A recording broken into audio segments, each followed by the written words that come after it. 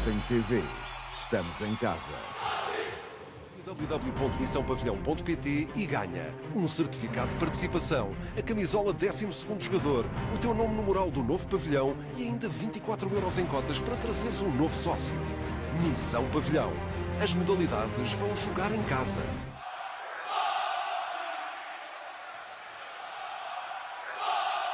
Para a próxima época que se inicia a 20 de setembro. Mas antes, no dia 6, ou seja, deste sábado a 8 dias, a equipa vai apresentar-se aos sócios.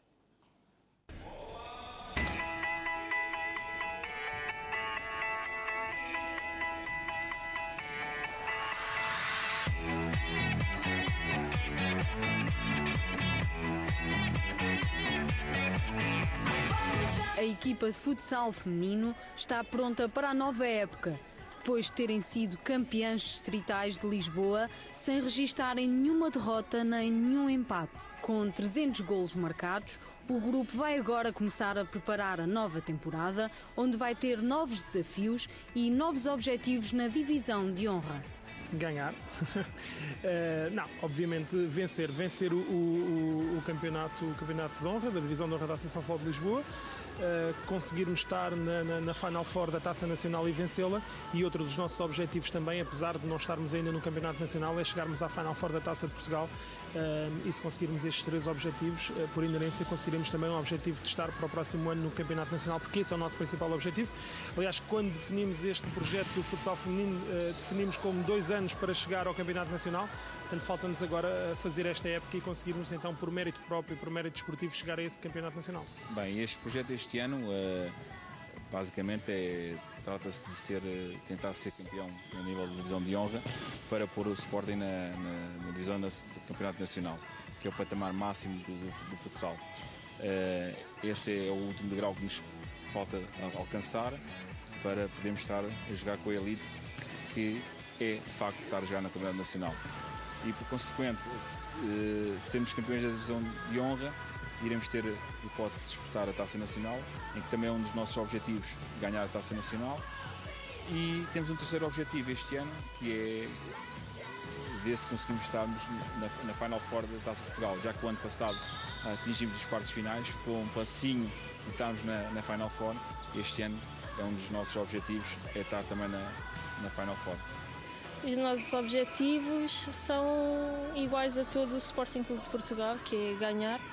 Uh, em tudo o que entramos, em todos os jogos para, para onde vamos, nós entramos, entramos para ganhar, é, é o nosso objetivo. Uh, fazer as coisas corretas que nós trabalhamos e, e, ir sempre a caminho do título. Os objetivos para esta época é subirmos para o Nacional e vencer a Taça de Portugal. Filipe Carneiro, agora treinador principal das séniores do Sporting, conta com um plantel reforçado para esta época.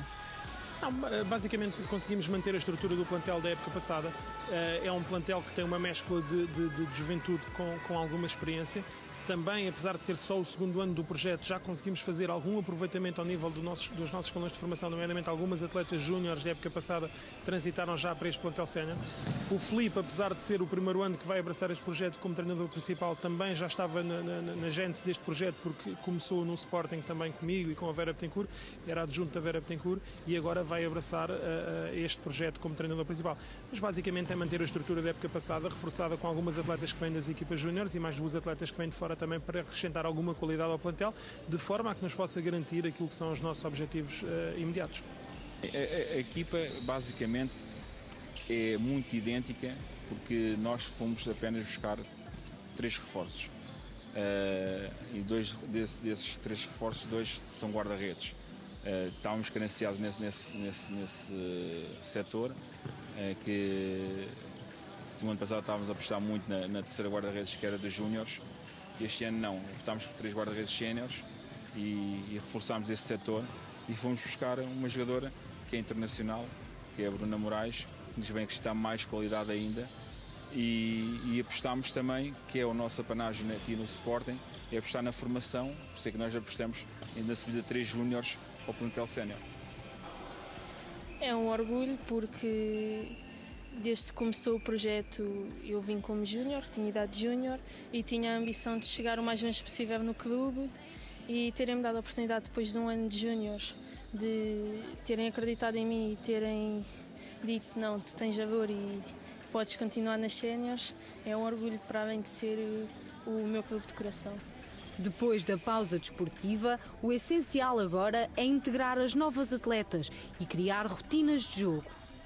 Bem, neste momento, eh, como nós vamos ter eh, uma equipa também com algumas entrada de miúdas que são júniores, que vão fazer o primeiro ano de sénior, vamos ter que trabalhar muito bem o nosso modelo tático de jogo. É, apesar que elas sabem perfeitamente o modelo de jogo que o nosso Sporting tem, porque elas já vinham do ano passado, mas a intensidade de jogo dos júniores para as séniores é, é diferente e elas vão ter que ser integradas e aí vamos ter que trabalhar bem essa parte da intensidade de jogo elas não se ressentirem e para nós temos noção que sai 5 a 5 e não, não, vai, não vai sentir nada. Tudo, tudo, porque tanto parada, uma pessoa não desaprende, mas tem que voltar ao ritmo, tem que estar bem fisicamente e depois é o modelo de jogo, o esquema tático que nós temos, que temos que trabalhar e toda, todas coordenadas umas com as outras. Muito, porque temos jogadoras novas, temos que nos adaptar todas umas às outras. Uh, a exigência aumenta porque é um campeonato superior ao que nós estávamos o ano passado e ainda mais exigência temos de sermos campeãs para estarmos no Nacional para o ano, que é o nosso objetivo. Uh, temos colegas com, com muita experiência e colegas com muita técnica. Isso, temos um grande grupo, temos um grupo muito forte. O ponto forte desta equipa é a conciliação da juventude com a experiência.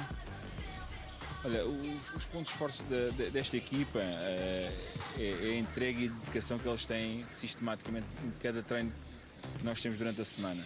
Uh, de facto, tem sido um grupo desde o ano passado, e espero bem e tenho certeza que este ano vai ser o mesmo, que tem um empenho, uma dedicação enorme e elas uh, sabem perfeitamente e assimilaram muito bem a filosofia do, do Sporting, que nós esperemos ganhar por 3, não vamos ganhar por 2, esperemos ganhar por 4, vamos ganhar por 4. Então mostramos respeito pelos adversários e esse respeito é tentar ganhar sendo avassaladores. É a união do grupo. Todas nós nos apoiamos mutuamente.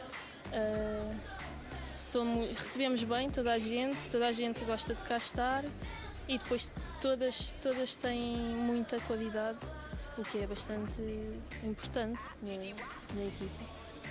A equipa vai apresentar-se aos sócios e adeptos leoninos no dia 6 de setembro no Multidesportivo e vai realizar mais dois jogos de preparação para no dia 20 de setembro estar tudo na máxima força para darem o pontapé oficial da época.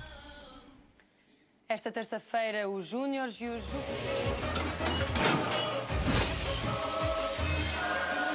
Sporting TV.